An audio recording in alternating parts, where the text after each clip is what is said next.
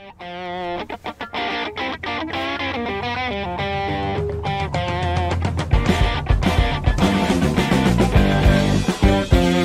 afternoon, everybody. Welcome to your Hump Day edition. It is Wednesday, the 29th of June. I hope you had a great trading session out there, even though, uh, well, I guess I, I, did have some trades. I closed out some of my options, which we'll talk about here in just a second. Anyway, nice shout out to our faithful regulars who are here today early. We got Doug, Siraj, Ron, Glenn, Mesnock, Sue, and Les, of course, from Cape Canaveral.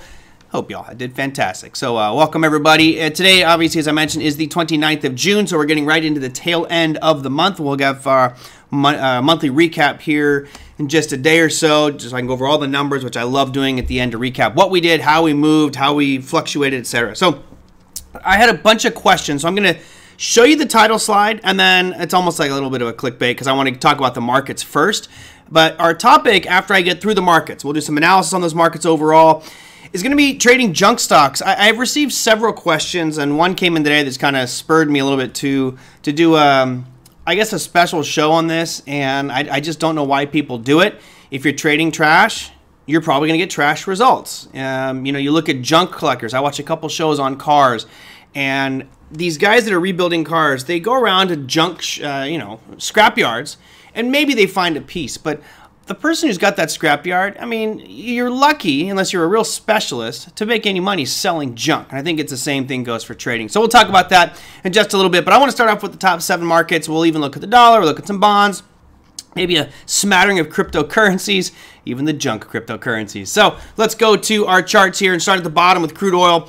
Uh, as you can see, we had that 114.54 mark mm, kind of drawn a couple days ago just because that was where the origin of this last huge spike down was. We came right up to it today and then ultimately sold off, closing near the lows on the session for crude oil down about 2.08%. Still clinging above 100 bucks a barrel though, 109.44. So no reprieve yet, even though us great Californians will get 1,050 up to 1,050 dollars uh, back from our state. That just reeks of stupidity. Printing money got us into the problem. Let's print more. Uh, here's your Russell 2000.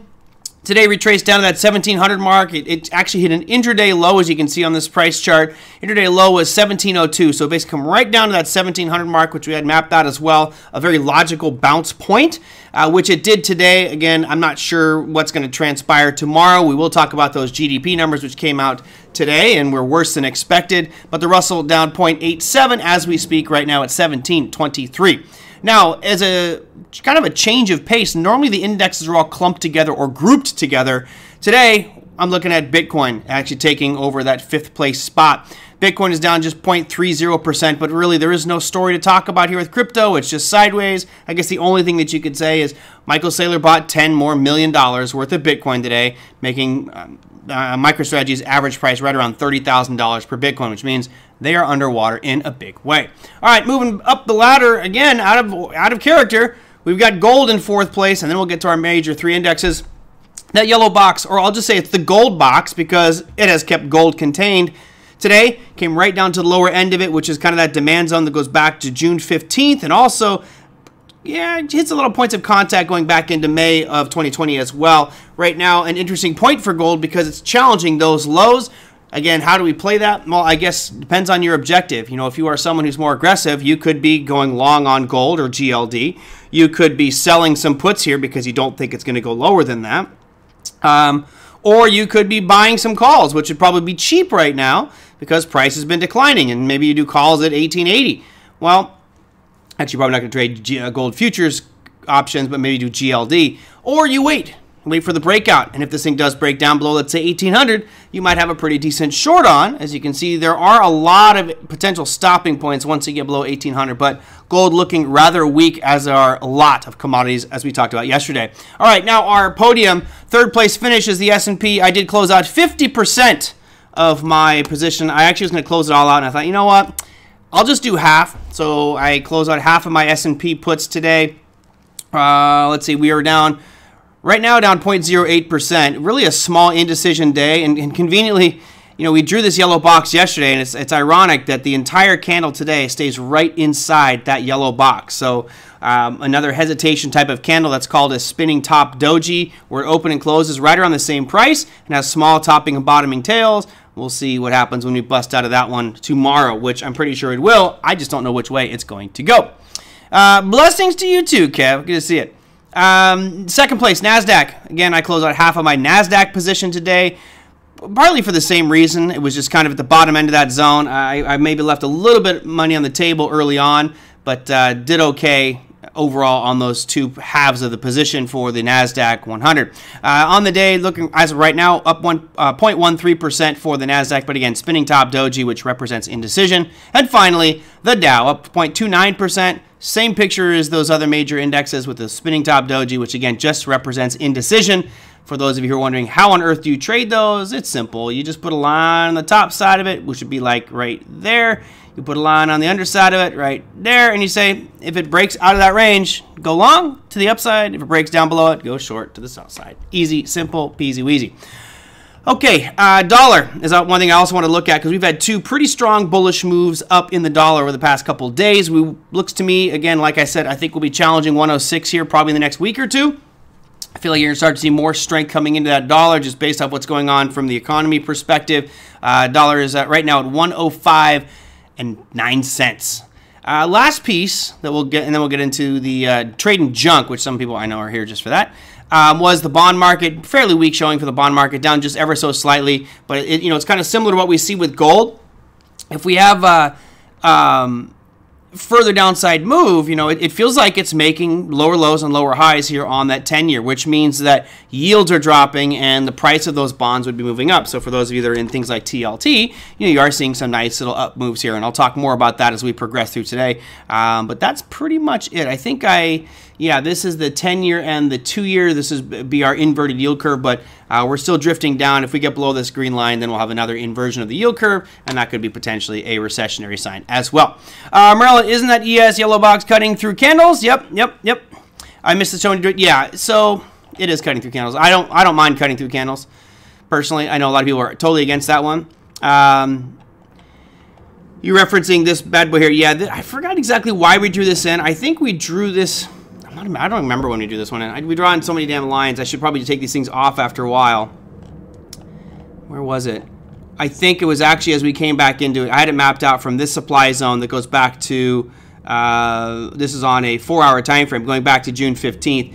Uh, that was that turning point where it hit a couple times uh, and ultimately broke through it, and now we're back to it. So it's that old adage of what was support becomes resistance, etc. Uh, what, what becomes supply, what was supply becomes demand once it's broken. Uh, made decision not to tender Spirit stock at 30 bucks each. Well, we could uh, certainly. There's the Spirit, the JetBlue thing. That's just like a little drama soap opera piece that will probably continue on. It feels like it's almost like an Elon Musk type of saga. Oh, we're gonna talk trash about each other and hopefully piss each other off. All right, let me go into the trading junk thing because I want to make sure I get this out of the way because it's um, kind of annoying, honestly, but it, it's really, I guess, inexperience. And I look back on my trading history, and I'm definitely a victim of this. And the graphic I chose specifically because you see a bunch of crap here. You know, you see old bookcases and broken TVs, some CDs, a couple beer cans, some batteries, milk cartons. I mean, it's just it's just trash. And for most things uh, that are trash, you should just leave them alone. However, all of us have looked at a price chart and thought to myself or thought to yourself, "Wow, this chart in particular, it had a high price of let's say $150, and now it's trading at three man, this stock is great. It's just really sold off right now. And it, it's going to come back. It has great potential and prospect. That's what we convince ourselves. However, if we looked at the fundamentals, they probably look like dog poop. If you look at the technicals, they still look terrible because the thing's still in the downtrend. Yet people insist on buying them simply because there's this hopium, right, that it's going to get back to those highs. And I have I think three or four examples of that today sent in from viewers. So uh, I'll say this early on. I'm not uh, I'm not trying to be condescending, but I am a tough love kind of person. So if you send in a question um, and it's something I think is just an absolutely horrible trade, I'll say it. But again, you know, you got to make your own decisions here on what you want to do with regards to. Um, making uh, those those trades. So let me go. I'm going to skip the economic stuff here for just a second. All right. So when you think of trash, um, I, I'll know I will offend many people here, and I apologize. It's not my goal to offend you, but as an individual, this individual has one of the most documented uh, historical trails of failure as a business person. Right? It, it, there's, there's case after case after case after case where his businesses have gone under. They've been fraught with fraud, uh, all, all sorts of issues with this company, which to me makes this individual a very bad business person. And I would never buy into a business that had anything to do with this individual. Now, what am I talking about? Uh, let's see. Lee asks, thoughts on DWAC, attractive at 2257. Of course, for those that don't know, DWAC is the Donald Trump Media SPAC, CDWAC. Um, I have literally zero interest. If you said, hey, Merlin, I've got $10,000 for you to invest, first off, I'll never invest anybody's money, so don't even think about it. But here is DWAC, right? This is one of those ones I think people are just hoping that Donald Trump will create the most epic media company in the world, yada, yada, yada. I don't think anything's going to come of it. I think this thing is going to be just total garbage. So I, I will not be touching DWAC at all. And now uh, let me put a number on you. You put 2257, so this was actually just sent in today. And and Lee, I got to say thank you uh, because you kind of inspired me to do the show specifically on junk stocks. Now, I guess we could ask the question: Is there a possibility that Trump does manage to a get all this financing and get a media company off the ground and it becomes successful? Yes, there, it's absolutely a possibility. There, there's no argument. It, there's a chance.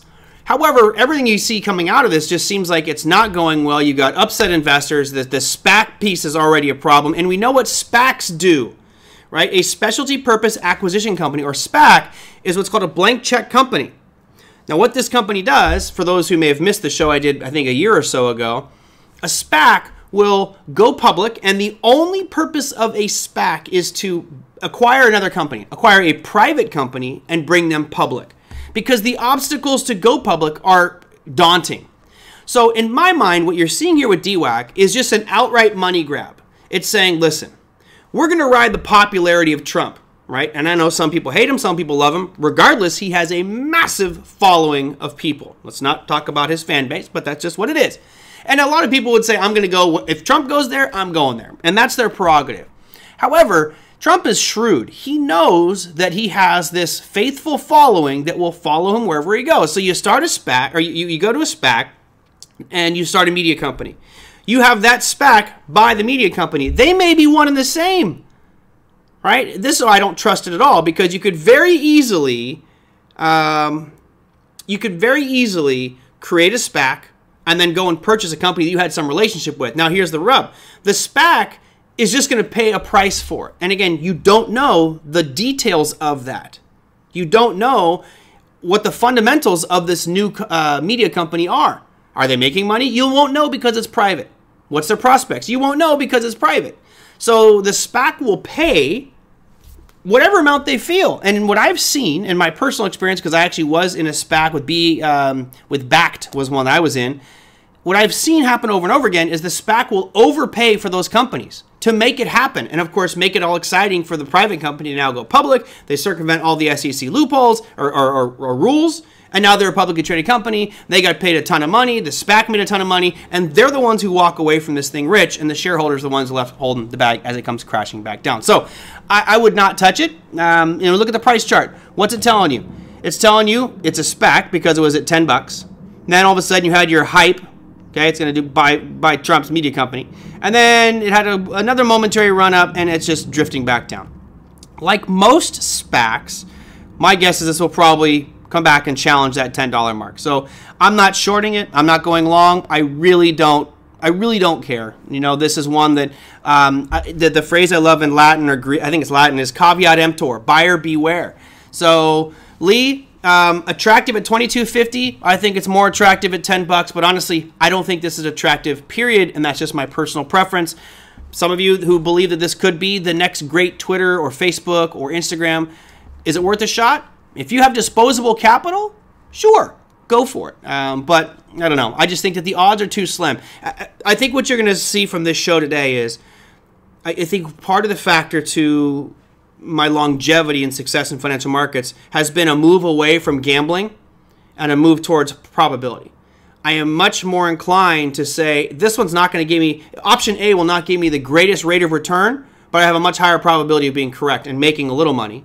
Versus option B, which is this one's a, a shot in the dark, but man, what a great rate of return. I could crush it on this trade. I, I don't really do that anymore. Um, maybe I'm just old, but that's the change I've had. So that was the first one from Lee on DWAC. To me, junk stock, staying away from it.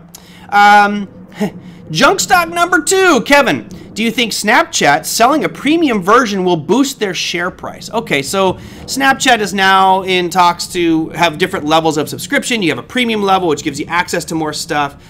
Look, I'm not a big fan of Snapchat just as a technology, but I'm older. I'm, I'm a little bit older, so I, I, still am trying not to use TikTok or any of these new social media platforms. Um, I kind of like to keep my private life private, as you guys may have guessed or seen. I don't really use social media much. You know, I'll post out a couple of things. Um, I'll post a couple of things on, on the show or guests and things like that, but I really don't like to do social media very much. That said, people love Snapchat. Create some funny filter, make yourself look like a shark on a phone call or something. Great, go for it. What does the chart look like? Let's go SNAP. Uh, I was short Snapchat. I Kind of wish I still held my shorts, but I am no longer short. Um, you know, you got to look at this chart here, Kevin, and and just ask yourself, where's it going? Right? This, if, if I had to guess, it's going down. Why? It's just going down. It's lower highs, lower lows. And I can do everything in my power to will this thing to go up, but it's not. Um, what are some other companies that recently said they're going to start uh, subscription models, right? You have a few that we're going to start charging for ads. Um, Actually, Google did that, but that's not going to be really reflected in their share price. They tried that with the Google TV, and they kind of uh, stepped away from that. Um, you know, things that are subscription based, where they start raising their subscriptions. Here's another one, NFLX. Everyone's like, oh, raising their subscription is going to help their bottom line. Maybe that's why Jim Cramer said to buy this back in January at $600. Well, it's done nothing but tank. So if I look at Snapchat, I would categorize this as a junk stock. I think it's falling out of favor. I think it was a cool fad for a little while, kind of like. Uh, uh, MySpace, right? MySpace ain't around anymore. That was the coolest thing in the world back then. Uh, yes, it is a SPAC, and we can bring that one up. I'll show you one easy way to find out here in just a second on on um, CLOB. So, you know, if you're dying on this one, SPAC or Kevin, and you will say, "Hey, I really want to buy some Snapchat," forget about your. This is the tough part. Forget about your opinion of Snapchat. Forget about anything that you've read or seen or heard, because reading press releases from Snapchat about them doing new fee structure. They are written in a way that makes you want to buy it. It's a marketing verbiage said, basically printed so you go read this and go, wow, this is going to save Snapchat. I got to buy it. That, that's a, designed by the marketing departments of Snapchat. So forget all that stuff. Look at the price chart. If you are interested in owning Snapchat, look at the price. Where would you be interested in buying? For me, it's very simple. I'm still would not be interested at any price. But look right here. All right, you've got these these highs that are roughly $15.75. And right now it's trading at uh, $13.96. So if it starts to manage to, to rise up and gets above, let's say, let's call it 16 bucks. Let's give ourselves a little bit of a cushion here, right? I'll leave this line here at 16 bucks. And if it does get above this, this may be a sign, and I would say it needs to be a close, but it's a sign that it's making some higher highs for once. I mean, it hasn't been making higher highs for the longest time. And if it does that, I think there's a very good chance that Snapchat fills this gap. But I'm not going to anticipate it. It's like saying I'm dropping a knife through space, right? And it's a, very sharp knife. I'm dropping that knife through space and I say, oh, I'll just catch it before it falls, before it hits the ground, right? Well, if I don't know where the ground is for the knife to fall and stop moving, then that's an extremely dangerous proposition. It's much safer to let the knife fall, stick into the floor, and then you go, okay, stop moving. Okay, I stopped that knife. It, it's way safer for you. Not as exciting. You're not going to get as many tips in the tip jar from catching a knife that already hit the ground, but you're also not going to be losing fingers and limbs and severing arteries with it. So this to me is simple. Let it prove to you that thing's moving up. It looks like garbage right now. I think it's going to continue to stay garbage because price is telling me. And I don't know what the reasons are. I don't particularly care. I can hypothesize, and everybody here could offer a hypo- hypothesis about why Snapchat's going down. And we could all offer about why it should start moving up. Who cares? Your opinions don't mean anything. It's the price chart that means everything. That's what we're trading. That's what I'm trying to make money off of is this price chart. So, Kevin, I would say leave old Snapchat alone. Um, I I don't know if the selling a premium service is going to boost their share price. Bottom line is they need more users. I think you have to start attracting more people to your platform. And now everyone's using TikTok, right? So Snapchat was like the TikTok of old, where you could send little videos in private and secret. Now everyone wants to use TikTok. So in, in another six months, we'll probably see people move away from maybe not six months, maybe another year. It'll be some other new platform. And TikTok or the, the other social media platform will just decline like Zoom did. So there you go for that one, Kevin. All right, let's go to, to real big junk stocks. Now, I'm not going to spend a lot of time on this one because we've talked about this for so long and uh, a while back, and you guys know my opinion on this one. Lee says, I know you don't like GameStop, but the chart has a lot of volatility. I've been doing great. First off, I will say congrats, Lee. I'm glad you're doing well. Um, there is a ton of volatility in this one. Let's take a look at the GameStop chart. So, actually, before I show the chart, as a company, as a business model, again, I think that GameStop is absolutely doomed. Great, I have to sneeze. Whew. Absolutely doomed. Um, again, we're not using physical games anymore. We're just downloading directly from the PlayStation, directly from the Xbox, directly from your Twitch, directly from your phone. No one needs to go to the store to buy games anymore. So to me, that's a, just a dead model, right? As soon as Netflix came along, what do you think happened to Blockbuster? Killed it, right? So I think that GameStop is in the exact same category. To me, this is long-term junk. It's slowly going to disappear. Now, if you look at the price chart of GameStop, you're absolutely right. I mean, these are some colossal swings. It may not look like much, but let me just um, let's get some of these lines off here because they're all old.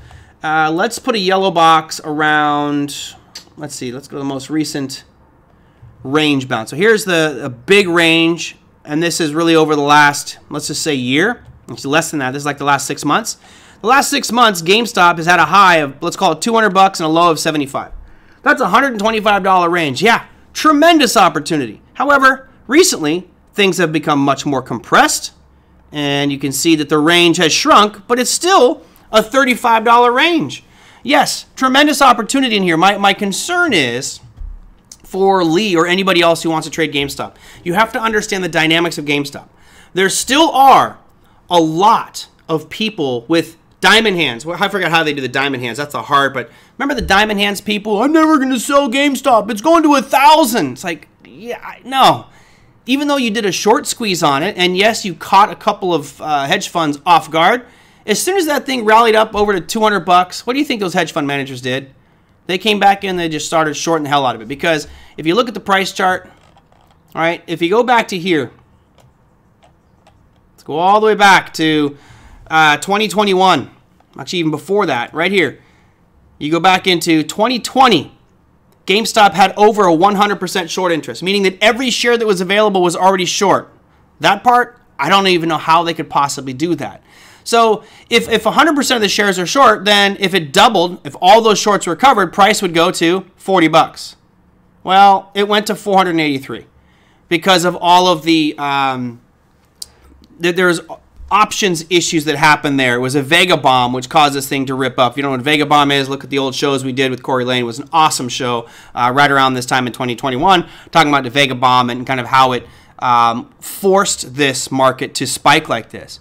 Now, to think that it's going to get back up there to $483, I would encourage you to put down the crack pipe. It's never going to happen. I mean, even if even if they decide to call themselves a blockchain company or a cryptocurrency asset, it's not gonna happen. I mean, this thing is this is trash. So Lee, it sounds to me like you're an active trader, and I can respect that. If you're an active short-term trader, then this is a gold mine, right? This is very exciting. The danger is you have all these Reddit Wall Street bets guys who are holding shares of it, and they're very. They say they have diamond hands, which means they can hold forever.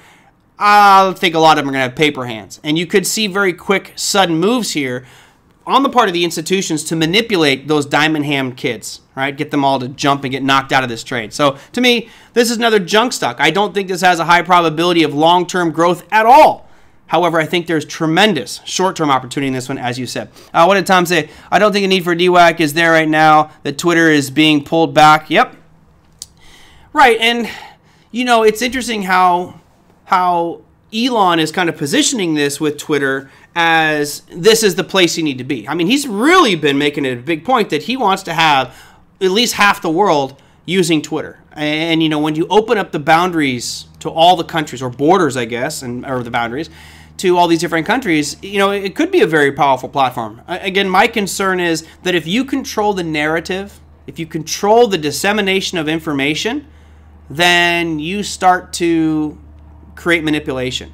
And I won't mention any specific news programs, but you guys know that there are clearly news channels that are extremely far right. And their news is so biased that anybody who watches those programs are being brainwashed and manipulated to believe all that news. That said, you've got other channels that are so far to the left that they're being brainwashed. And again, I, am disappointed in our country because I feel like it's polarizing us even more and making us hate the other side. Let's be amicable, sit and listen to what we each other have to say, and maybe move forward together. But we're, we're being ripped apart by media in my mind. So I'm a little concerned that Twitter, um, you know, even though it may have been swung to one side, who knows, it might not go to the other side, right? And all of a sudden we start to see that media, that control unit, which is Twitter, rigging, not rigging, but manipulating elections. That, that kind of scares me. I'm not mentioning names, Lori. I don't want to get anybody's bad side here. Um, Apple should buy GameStop wristwatches died years ago, and then Apple decided, yeah, their captive customers would pay them to watch. I'm sure Apple can make, yeah. Well, I get that's pretty funny. That's pretty fun. They can make their customers buy physical games. Uh, I understood a little bit the wristwatch. Like it's okay, I get it. I mean, I'm not a watch fan, obviously, as you guys can see, no tan lines here. Um, but at least it serves a purpose, right? The watch can do so many things. I mean, especially those of you who are looking to do fitness, it tracks your steps and your heartbeat and health. And I mean, you can really, it's a very useful tool to have a watch what does a game do, right? I just don't see it. All right, I'm the weird one. Elon doesn't want chat controlled. I and good. I I, I kind of feel. I think that, and this is probably where I, I would um, create differences of opinions among some of you. I am definitely a free speech person. I, I absolutely am waving the banner of free speech. However, when your free speech starts to create hate um, through the through the words that you use, then I think you should not have a voice. I think you should um, be muted. If you're if you're inciting hate and violence on in society, mute them to get them out of there. All right, let me see. And the last one, oh god, Daniel. Okay, so we've looked at a few of them so far. We looked at GameStop, which I think is just going the way of the dodo. It'll be a blockbuster. That thing is dead. We looked at DWAC. DWAC could have some potential but if I have the spectrum of probability, this is like a three standard deviations out. I mean, this is a very slim chance in my mind of succeeding and being everything that it may have been touted as and, and taking on Twitter. Then we had, um, what was the other one? Uh, Snapchat. Well, Snapchat's established. I just feel like it's losing its its grip on the younger generation. I feel like it's slipping its market capitalization and dominance. So, you know, I, I don't see that changing. This next one, uh, I definitely have some opinions on, and this goes to Daniel. Daniel, love the question. Thank you. He said I bought some Carnival Carnival Corp on their earnings call last week. Was trading at ten bucks. What do you? When do you think we back to the seventies? well, kind of humorous there because I don't know if it will be back to the 70s. But let's look at Carnival Cruise Lines. And again, this isn't just Carnival; it's it's uh, Norwegian and there's a few other Royal Caribbean cruise lines. Uh, I think we all know and agree that you know cruise ships probably not the best place to go for anybody who has any issue with COVID. So if you're one of those people that, like wants to wear a mask all the time, great, good for you. You should wear a mask if you're not comfortable going out in society. You know, if it if it's something that freaks you out, please wear a mask. Um, then I think there's those that, if they're comfortable with it and want to take that risk, don't wear a mask.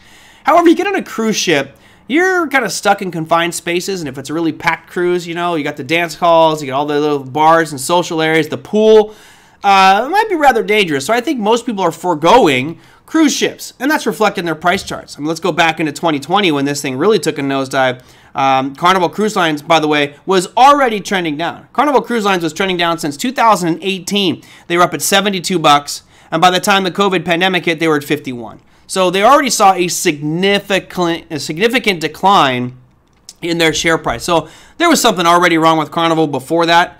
But COVID hit, it went from 51 all the way down to lows of like seven bucks. Man, just absolutely murdered. Now, are they back on track? No. Are they? Are their cruises leaving and, and going places? Yes, uh, certainly is. But if you bought here, all right, I'm just uh, going to just kind of go through um, my thought process. If you were buying in this part of the chart, right? You guys can see we've got on the right hand side that things are moving up. I, I would say good for you. And I would say you have a good probability that price is going to continue moving up. Why? Because you're making higher highs and higher lows. That trend had reversed. However, there is a longer term trend in play here, which um, it's going to be a really kind of an ugly line. You could draw it through there, is where I would normally draw it. Um, you could also draw them through the where the most points of contact are, which would be right through there. Either way, this new uptrend here is slowly moving up towards these trend lines. So I, I would be okay with buying in the uptrend part. Now, if, if you ask me what you want to do now, I would say stay short. We, we are now and back to the downtrend. We're continuing. You got lower lows and lower highs. So I, I realize what you're thinking here, Daniel. Um, I'm not sure why you bought on the earnings call last week. I think that that is that's that's gambling, my friend, is is trading earnings call. But let's just zoom in. So here's your earnings call. It's this big green candle. What was uh, what the 24th? So I don't know what price you're in at 10, but you bought the earnings call, and if I recall, the earnings weren't that great. I can bring the earnings calendar up here if you guys would like in just a second, but let's just um, walk through here. I, I guess you have to ask yourself, why would you be interested in possibly buying during this area, right? You're in a, you're in a big downtrend. I guess you can make the argument that we did break above some very short-term highs, but you're still not out of the woods. To me, this is a case of short the rallies. So, you know, if if Carnival gets back up to this $14 mark, that looks like a great potential short opportunity. You have this nice area of consolidation. I'm moving the yellow box around for everybody. Uh, nice area of consolidation, and then just a little rally, base, and a drop. Uh, to me, I would I would keep my short guns out. And if we look at this on a longer term, let's say a weekly, for example, you are back to those lows from 2020. And I think, uh, Daniel, I guess if you are in chat, interact here, but I, am guessing that part of your decision to buy that was we've come into this demand zone, this, this historic low back here in 2020, and we've bounced out of that. Okay, I'll buy that momentum. And if you told me that was your reasoning, I would feel more comfortable with the trade. Like, okay, you're buying because of the demand zone. But just buying it and saying, what was your exact words here? Um, I bought some Carnival on their earnings call last week. Well, I apologize, but what the hell does that have to do with anything? Remember, earnings call are a way for anybody that's an executive in that company to spread kumbaya information. Right? You're not going to see too many people. Holy cow, Jay Best, thank you so much. I will get to that in just a second. Um, I appreciate that. That was very nice. Um, yeah, I just don't see what an earnings call would have to do with it. Because, again, you're very rarely going to see a CEO come out and say, man, things look bleak for us. You should sell our stock. Right? They're going to say, you know, we do see some challenges ahead, but right now things are looking pretty good, and we're going to do this positive thing and this positive thing and this positive thing, and they'll forget to mention a lot of the negative things. So, um, to me, uh, I, I, wouldn't touch it. I, I right now would not touch Carnival. I want it to prove it's starting to make some higher highs, higher lows. Um, Michael Curtis says they have to have mass debt due to COVID. Yeah, but remember they got tons of bailouts too. Remember, the airlines and the cruise ships were getting hundreds of millions of dollars in bailouts to survive. Uh, unfortunately, I'm not a fundamentals guy to look at their fundamentals and see like how how are they doing. Uh, but my guess is, as you point out there, I think that they're struggling right now. I don't see people mobbing to get on cruise ships. And, you know, how low a price can a cruise ship offer you to entice you to go? For one, I think I'm just kind of holding off. Now, the reason I thought this one was interesting is I think we would all agree that there is no way that the cruise ship industry is going to die altogether. It may have to morph and change a little bit. So I don't think Carnival's going away. I don't think Carnival's going to go to zero, but I do think GameStop is, right? I don't think um, Norwegian Cruise Line is going to go to zero but I kind of think that Snapchat will over time, right? It's, unless it finds new followers, it's just it's not not going to work out. Our cruise line's too big to fail. Can they be bailed out? Well, they were bailed out. They were. Uh, the big talk back here in 2020 was the bailouts for airlines and for cruise ships. Now, airlines, obviously, I know, so they got big bailouts and they're still tanking. Correct. I mean, I haven't been on one, but you mentioned that Lisa got Lisa got COVID on her cruise last week. Last week, I'm sorry send send uh, Lisa my best wishes. Hope she's doing okay. Um, I mean, you're in a very crowded space where people are drinking and yelling and partying and having fun. Uh, you know, it's like if you go to a concert right now, you know, your odds are pretty good. You know, when I got COVID, I was at a Phish concert in Las Vegas. So I don't know how many umpteen thousand people in a very tight place. Even with a mask on the entire time, I got COVID. Um, yeah, I, you know, you can be as careful as you want to be you can still get it. So, um, Daniel, I don't if you ask about when it get back to the 70s, I would not hang my hat on when it's get back to the 70s. Like, uh, be lucky if it gets back up to the 30s. All right. Um, I would, yeah, definitely not the most optimistic for Carnival. All right, so those are junk. Those are trash. And Jeff, J Best, before we finish here, I will get to that one. I want to get to two more questions here that are that have just come in. Uh, Chase talks about Uber and Lyft. All right, U B E R. So would, would would this be considered a junk stock? In my mind, absolutely not. I think it may have been, you know, it reached some legal troubles with regards to unions and, and rights and, and kind of uh, state laws. But I think we'd all agree that Uber and Lyft are so instrumental. And personally, I love Ubers. I think, I, I don't know this for a fact. And I, if anybody wants to do the research, I'd love to see it. The amount of drunk driving deaths now versus pre Uber, pre Lyft. Because, you know, there's been times where I've gone down to my local watering hole and I walk outside, you know, I got my car keys. I'm like, I'm just calling Uber. There's no way I'm driving home right now. And you know, how many lives has that saved? So I think as a as a societal benefit, Uber and Lyft have made it very easy, especially for people that don't have money to own a car. They can get transportation when they need it. So I don't see that model changing. What I think might happen is I think you might see a competition in this space where, as you see it now, Uber is a business where they contract out. You take your personal car and you, uh, you know, turn into a business and drive people around. Great. Personally, I think that that's great for another few years. My guess is that within five years, five years is kind of my, my, my ultimate for this one. I think that you'll have Tesla have a, basically Tesla will be a taxi service as well. There will be an arm of Tesla that they're basically just producing Teslas. They're autonomous vehicles that you can now have an app. You log into your Tesla app, and I'll be sitting at the bar somewhere. I hit a button, and the car, without a driver, will just show up and pick me up and take me wherever it wants to go. And it will just do that all night long. It's basically a driverless taxi. And I think that Tesla has such a huge advantage in AI that they'll be first to market with that product. But that's not going to kill Uber for, for years. So I, I, I think Uber is probably doing pretty good. Let's go. If Lyft looking a lot worse. I mean, down at 14 bucks. Goodness, you know, it just begs the question: Do you want to buy some of this? Um, Personally, I don't right now. I just I just not in a long-term buy mood for anything. But I would do the same thing that I did with uh, the other chart we just looked at, which is you know find a level where this starts to make higher highs. Right?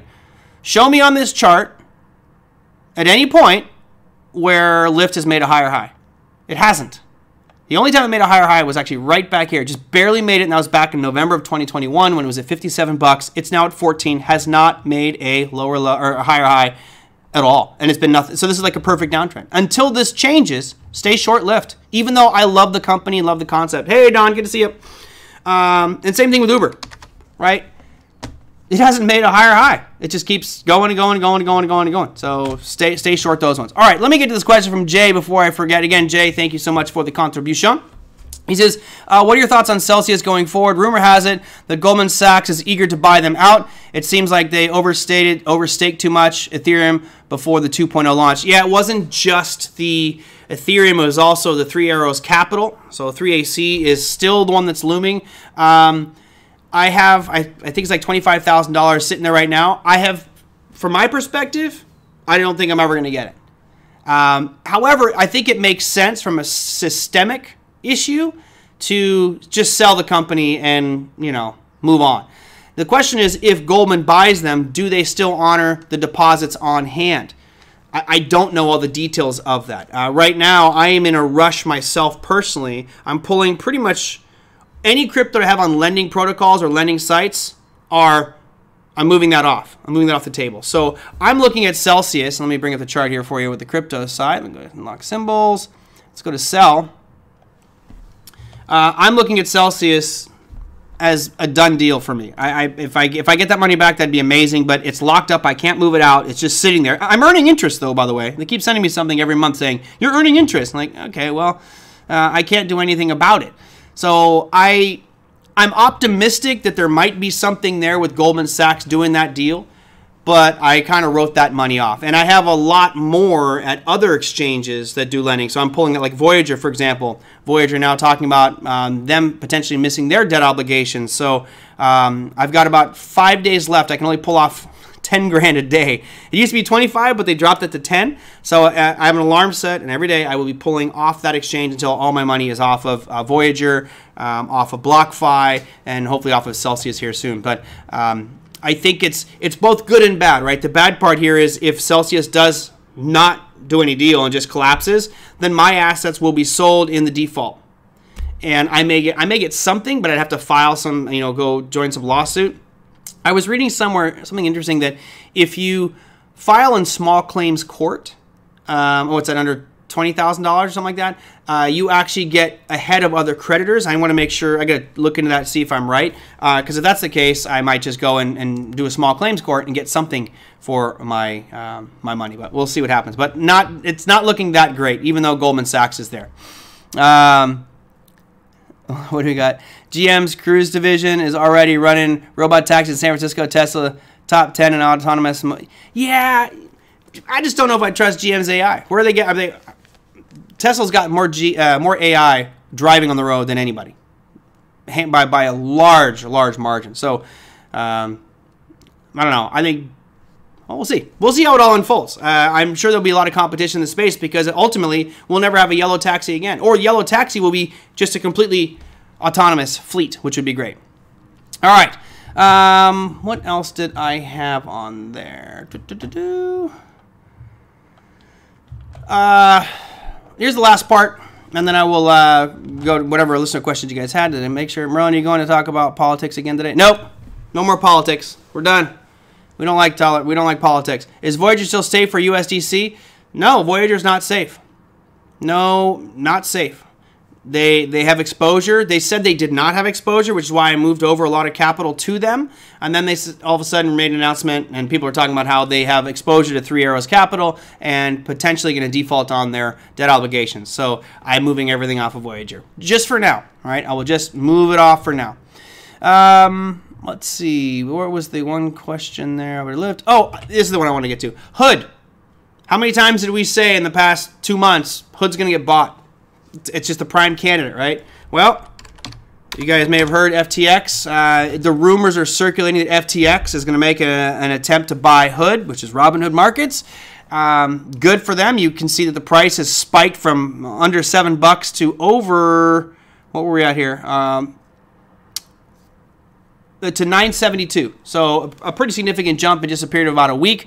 Giving back some of that now. Uh, if they do get acquired, yeah, I think you'll see this thing surge quite a bit. But you know they got to bring uh, FTX on board, and FTX, by the way, is making a pretty big play in the space. I mean, they're now extending lines of credit to some of these lending protocols, right? Sending some money out there, and here you go, Celsius. Here you go, these uh, Voyager, etc now all of a sudden going out after an exchange. They already are one of the largest crypto exchanges. So a lot of people have said that um, that uh, Sam Bankman-Fried, Sam Bankman-Fried, is uh, the modern day robber baron, right? Lending out tons of money to companies to save them, but really for his own interest. And it'd be interesting looking forward uh, what this might look like. But here's a kid who's in his early 20s, sleeps on a beanbag in a floor in an apartment with six other people, and he's worth I don't know 20, 30 billion dollars. Just absolutely insane to me that that's the way it goes. But um, yeah, I, I, we talked about this one. I didn't want to buy any hood, just not my thing to, to bottom fish like this. You know, back here, I would say it's a junk stock, and, and it still is. But at least this has value, right? What's the value? The value is millions of people have accounts here. Now, granted, some of those accounts are only worth a couple hundred dollars because it's some you know 14 year old kid mom's basement buying shares of um, shares of, of Shiba Inu and Dogecoin, thinking they're going to get rich, but it's still assets. It's still assets under management. It's still a massive database that now FTX is going to have direct access to. And of course, FTX would now have access to the U.S. equity markets. Uh, Hood is already doing crypto, so they'll just plug into FTX's exchange, uh, thus making FTX even bigger and bigger and bigger. And the good news uh, for me is I actually own FTX. Their um, it's FX. FTT is the name of their, their coin or their token. But again, this will be an area of contention because wouldn't this be a security? Right? FTX is not publicly traded, but they do have a token. And again, we'll we'll see. Uh, yeah, Bankman's perfect name, right? I know. Did he did he pay for that name? It's crazy. PepsiCo. All right, one of the few that actually is looking okay, right? You have just huge sideways consolidation or sideways ranges from 153 all the way up to like 175, 176. Um, you know, if you look at the grand scheme of things, you could argue we are dead center of this range right here. All right. So from a trading perspective, let me put fibs on here. I'll just go from the, the, the base to the peak just for fun. And we are exactly in the middle here. We're just above that 50% retracement. So why is this important? Well, I guess it depends on what your goals and objectives are. If you're looking at going long, you know, you are in the middle of a very tight range or very wide range. So yes, there is some upside potential here. Same thing is going down, but I think more importantly, this would probably be a decent spread trade. If you get that spread wide enough and find some premium in there between 153 and 180, go for it. You're in the middle of the range, so you're dead center. Um, the odds of, of it getting out of that range are rather slim at this point. But Pepsi looking decent, at least from an options trade. From a price perspective, uh, I don't really see it going anywhere. I actually, if I was to forecast what would happen with Pepsi just based off what this chart looks like, uh, let me do a repeat here, lock that one. We'll go here. All right, so I'm going to go boom. I think you'll see stuff like that, where it's just going to kind of traverse sideways for a while. But I don't see anything really exciting happening here with Pepsi. I don't see any breakout trades. I don't see any great trend other than sideways. Shut up, Don. Shiba Inu will never go to a dollar. Even if they remove a zero from the total supply, Shiba Inu will not be going to a dollar. Shiba Inu won't even make it to 10 cents. Shiba Inu. The guy comes on here just to get me all riled up. Way to go. Way to go, Don. Um, all right, let me delete some of these things because I don't need those lines. Let's go look at Shiba Inu just because Don's here and he brought it up. So I got to Bring up Shiba Inu. Oh, look at this quality bad boy. Oh, isn't that great? Wait, doesn't this look just like DWAC? Doesn't look just like DWAC? We just looked at it. This looks like DWAC. This looks like uh, GameStop. This looks like Robinhood. Looks like all the crap companies we just looked at. Uh, maybe not as bad as uh, Carnival kind of had that same look, but uh, this is just a pump and a dump. Now, what was the one that you mentioned earlier? So asking, um, there was a question about a specific SPAC company, and I will get to that. I just got to scroll back through here. Clove, C-L-O-V. So if you're curious if something is a SPAC, there's a real easy one to. Ooh, um, this was uh, a SPAC. Yeah, so Clover is a SPAC. It's weird that the way this starts. Normally they all start out at 10 bucks, and you'll see them go sideways for a while at 10 bucks. This one started at 10, had a big spike, and now it's worth two bucks. So the key with these is in two years, and this started on June 12th, 2020 um, they have to make an acquisition within two years. Otherwise, they have to return the funds to the investor. So I'm not exactly sure how that works out, but we are past the June 20th date. So I'm not sure exactly what's going on here, but from everything I read, um, SPAC, specialty purpose acquisition companies, have two years to make their acquisition. If they don't, money goes back to where it came from. There you go. Uh, let's see, what else do we have? Don't you gotta look at Coke too? Oh, fine. Got to look at the brothers and sisters here, huh? All right. As you can see, I've got Jim Cramer's buy, buy call, which conveniently was this dead high. Love it. Just absolutely love that one. This one just, just cracks me up. Uh, Clove was one that I had for a while, selling options against it. Sweet. As long as it, whatever your strategy, as long as it's working. Um, you know, Coca-Cola doesn't have, does not have the same picture as Pepsi, obviously, right? If we go to PEP real quick, you have a, a much wider range, but the trend for Pepsi, as you can see here, was rallying up, and really since uh, October of 2021 has not really been able to go anywhere. Coca-Cola, since 2021, has been making higher highs and higher lows. So I'm, I'm definitely more of a Coca-Cola fan than a Pepsi fan, although I'm trying to drink less, um, less soda. But right now, it doesn't look great, does it? If I just look at this part of the chart here, lower lows, lower highs. So Coca-Cola is looking weaker at this point, but I would still make the same argument I did with Pepsi, which is check out the range. Here's your big range for the past few months, and we're dead center on it. So I don't see anything really exciting from a trading perspective here, unless you're selling, uh, doing spread trades and selling options. Um, yeah, and not only is it two bucks, it looks like it's going uh, further lower. Michael, normally you get a, uh, you can tell us back by the. Uh, here, I'll just show you normally you see this type of price action. So here's the Digital World Acquisition Corp. You see how over here it has these little horizontal lines? They usually go public at 10. They start at 10 bucks, and then you'll see them fluctuate around 10 bucks. Um, let me see if B... So here's Bakkt. This is the one of the ones that I purchased back. At, I bought this at 15 bucks. Um, but you can see here it was at 10 bucks and it's kind of just stuck there. They made news they were going to buy um, some crypto projects.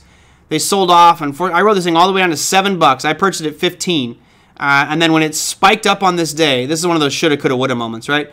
Uh, when it spiked up from 15 to 17, I sold at 17. You know, made a couple bucks, so I made two grand on the trade. But it rallied all the way up to you know 50 and change. Just kicking myself like, why didn't I hold it? But now it's right back where it should be, which is two dollars. Again, this is the case of a, in my opinion, of a SPAC paying way too much money for a company to entice that company to come public.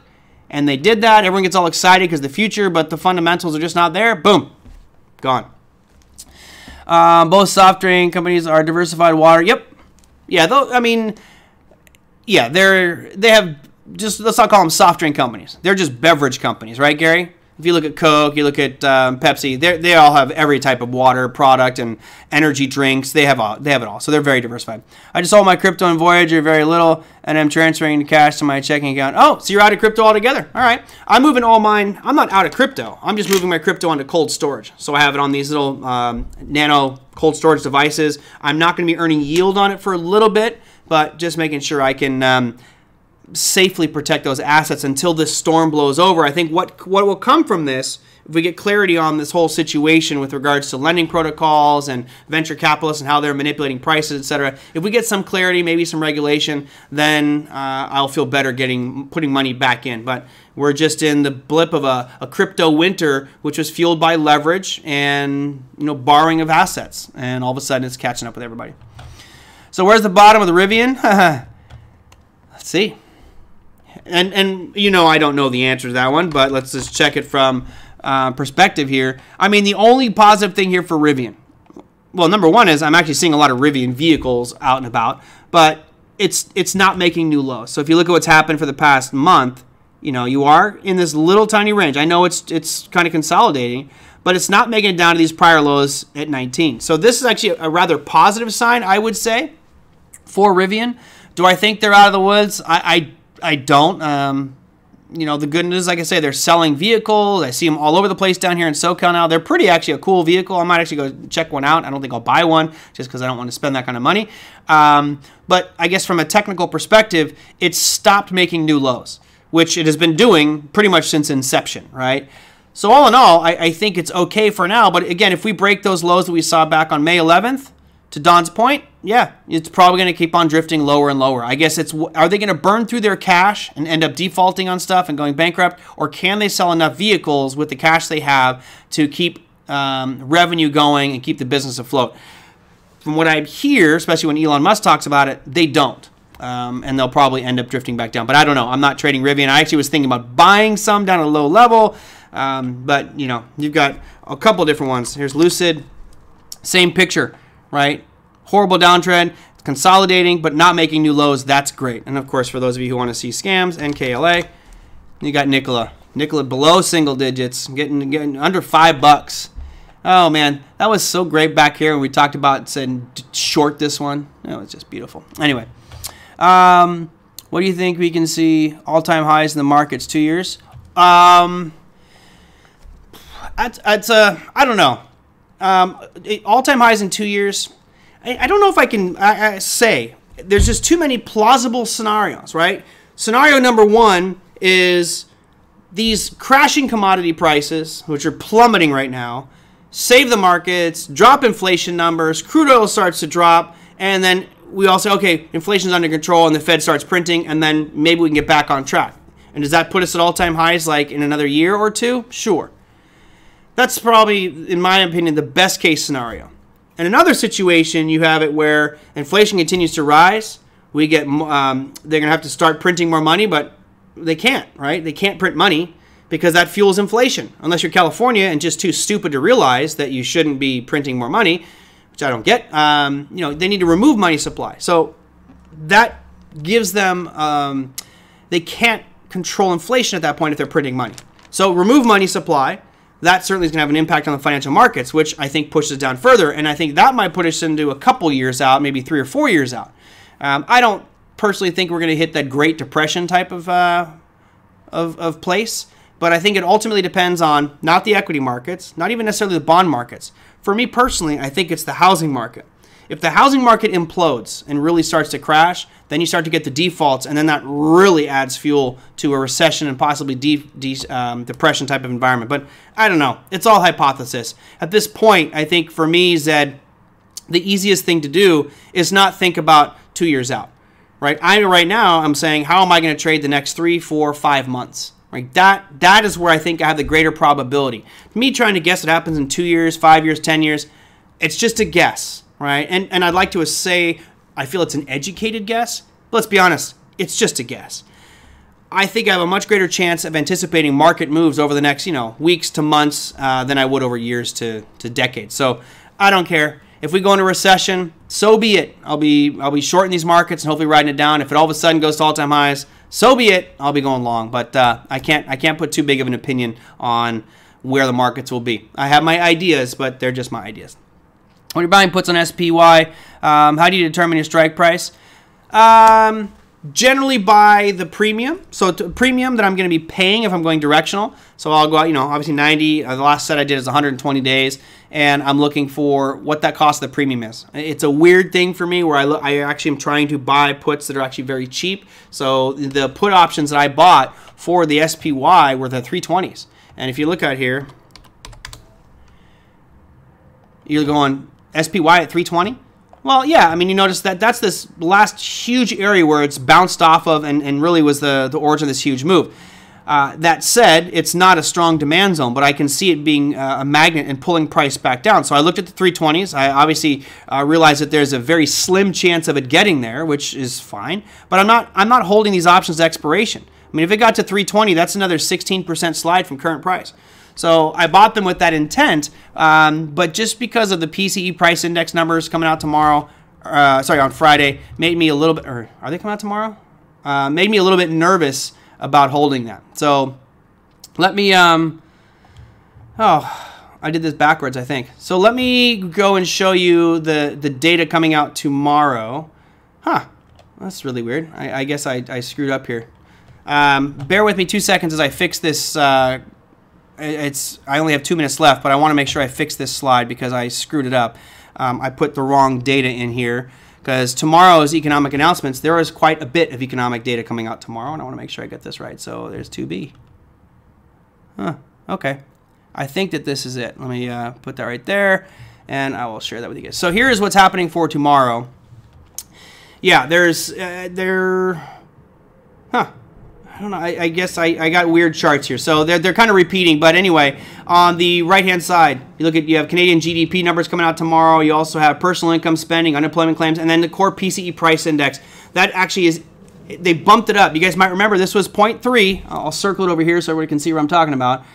0.3 was the previous number, and this was 0.3. They just jumped it to 0.4. And um, my guess is they're going to come out at 0.3. I think you'll you'll actually be the same. Um, but this is showing the anticipation is rising inflation numbers. Uh, the the um, commodities markets that we've been looking at, I think, will really start to show their hand in probably another three or four months. But it's going to take a little while. All right, I got to wrap up before Big Eb gloats about it being a one-hour show. What's the definition of depression? Um, it's the magnitude of the sell-offs, or the magnitude of the declines of unemployment numbers, or, or increase in unemployment, the magnitude of the declines with GDP. Remember, we start with two consecutive quarters of negative GDP growth is what would deem to be a recession, which we got today. All right. Uh, tomorrow's Thursday. I don't have any guests on the show for tomorrow, so I will uh, go off listener topics. For those of you sent in about these junk coins, thank you very much. I appreciate those. Um, don't take too much offense to it. Just understand that your goal is to make money. And if you're trading junk stocks, you're basically juggling chainsaws hoping to get lucky. Go with something that is fairly predictable, has a nice trend to it, and price action you can understand. And don't go, oh, I hope it goes up that's just a recipe for disaster. So hopefully you guys uh, that helped out some of you. Don't just be discouraged by sending in questions. Send them into the YouTube channel. That helps me out. Uh, just put them down below any video and I will get to those questions. You can also email me. It's on the screen. TraderMerlin at gmail.com. I hope that you guys have a fantastic remainder of your day. Big Eb, congrats. You got a one hour show. I'll see you guys tomorrow.